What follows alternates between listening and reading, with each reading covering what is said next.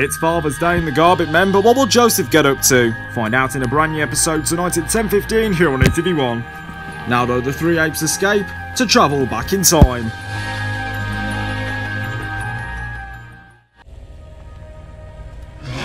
Don't worry, she can't escape the electric fence.